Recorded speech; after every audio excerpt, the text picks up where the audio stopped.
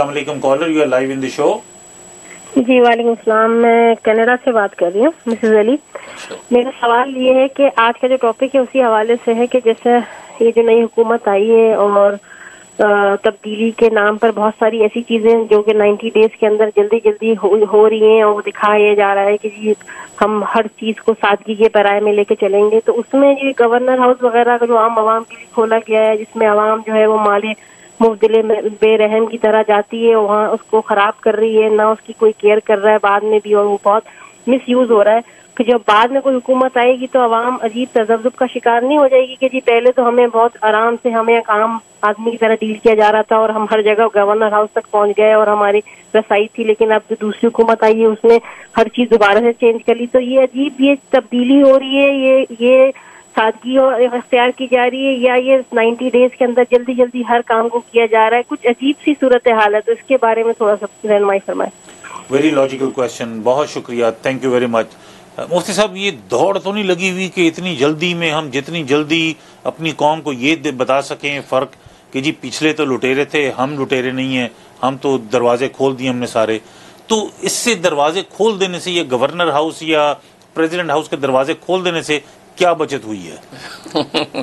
اچھا پوائنٹ آپ نے اٹھایا۔ اصل بات افطار کا وقت ہوتا ہے تو جلدی ہوتی ہے۔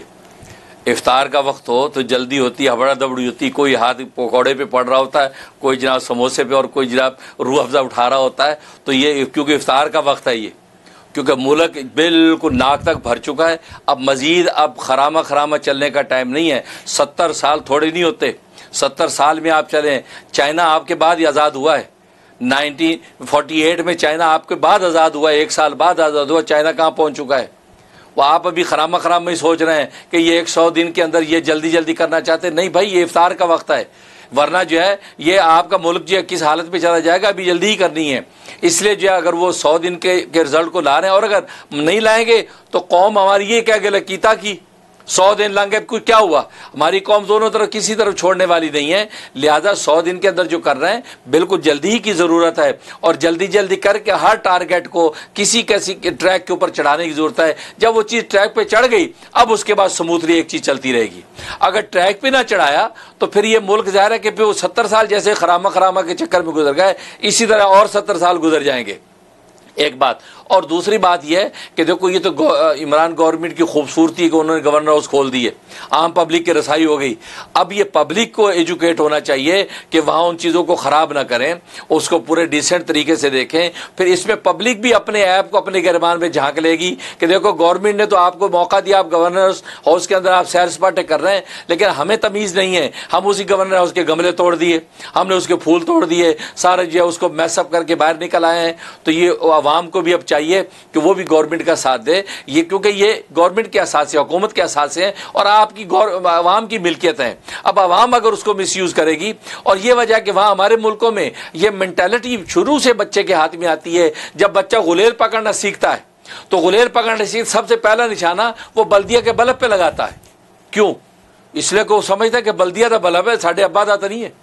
اپنے گھر کے بل پہ نہیں مارے گا بلدیا کا بل پہ نشانے سیکھتا۔ کیوں؟ اس کے دماغ میں یہ بات ہے کہ بلدیا کا بلب ہمارا نہیں ہے گورنمنٹ کا ہے۔ اللہ کے بندے گورنمنٹ آپ کی ہے۔ گورنمنٹ کے اساس سے آپ کی ملکیت ہے۔ آپ کے ٹیکس کے پیسے سے تو یہ گورنمنٹ جو ہے، یہ بلب لگاتی ہے اور آپ اپنے ہاتھ سے اس کو برباد کر رہے ہیں۔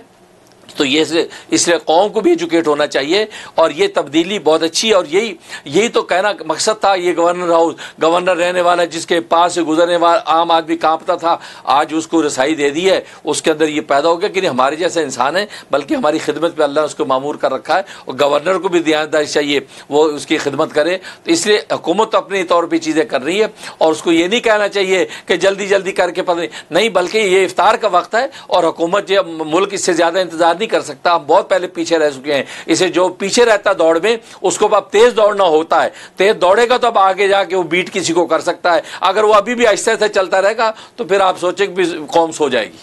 بہت شکریہ مفتی صاحب۔